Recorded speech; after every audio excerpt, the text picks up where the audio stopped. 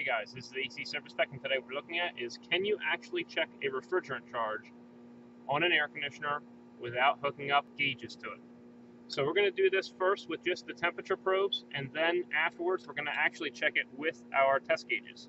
So right here you have 89.4 degrees.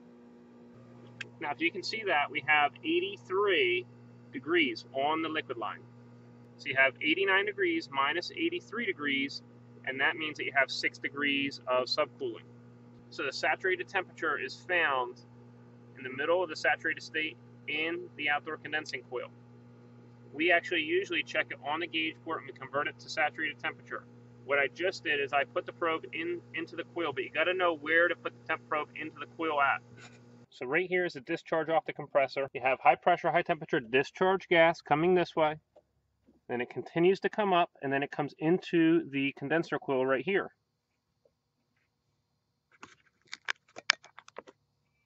It also continues to rise and come into the condenser coil here as a high pressure, high temperature discharge gas. It also comes up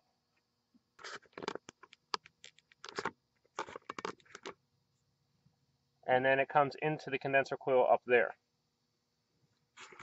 So, you see this other pipe behind it? it? This is this pipe is not connected to the discharge line. This tube right here is actually going to the outdoor service valve. This tube right here is going to the outdoor service valve.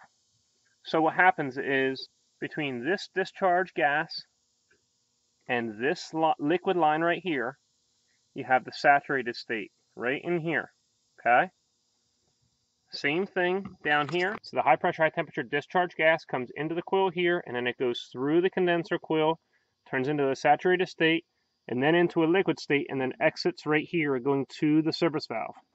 So what you can do is you just look right down through the grill on the top of the outdoor unit. You see where the discharge pipe is, you see where the liquid line is, and then you can just put your temp sensor on one of the liquid lines on the outside of the unit, uh, right in the middle right there. So you know that the saturated state exists right here, right between these two tubes. So you see this metal right here?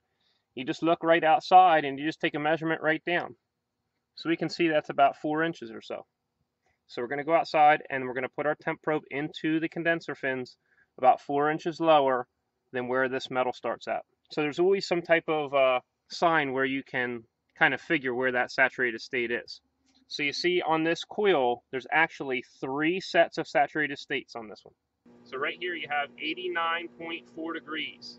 We moved our temp sensor down and we connected our gauge to the liquid line because we're checking subcooling.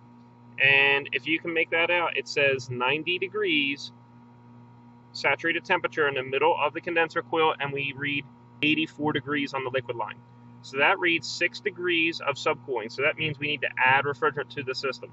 It's calling for 9 degrees. We have 6 degrees, so that means we're low on refrigerant. But what I really want to show you is that you actually can check the subcooling of a system, of a single speed outdoor condensing unit, or heat pump in cooling mode with just temp sensors.